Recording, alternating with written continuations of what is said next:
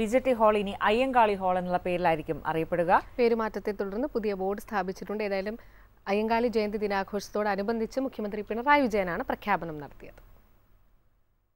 അടിച്ചമർത്തപ്പെട്ടവന്റെ ഉയർത്തെഴുന്നേൽപ്പിനു വേണ്ടി പോരാടിയ അയ്യങ്കാളിക്ക് ഒടുവിൽ കാലം കാത്തുവെച്ച അംഗീകാരം. ബ്രിട്ടീഷ് രാജ്ഞിയായ വിക്ടോറിയയുടെ കിരീടധാരണത്തിന്റെ സുവർണ ജൂബിലിയുടെ ഭാഗമായി ആയിരത്തി എണ്ണൂറ്റി തൊണ്ണൂറ്റിയാറിലാണ് വി ജെ ടി ഹാൾ സ്ഥാപിച്ചത്.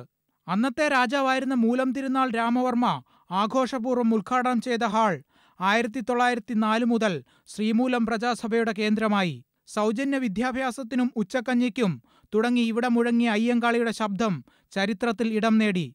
കാലം പിന്നിടവേ തലസ്ഥാനത്തെ പ്രധാന സാംസ്കാരിക സാമൂഹിക കേന്ദ്രമായി ഇവിടം.